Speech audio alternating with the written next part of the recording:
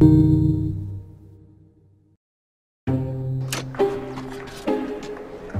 are you doing? I, uh, I was just, um, I wanted to call my mom. Let her know I'm okay. Are you stupid? The police will be listening to her phone. You want to go to prison? Who are you? Tell me where she is, or I swear by Christ I'll kill you. Get him off me.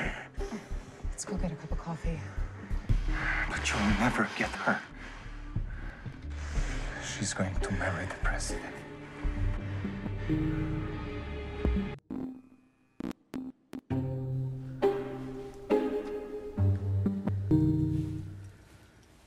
So, what did he say?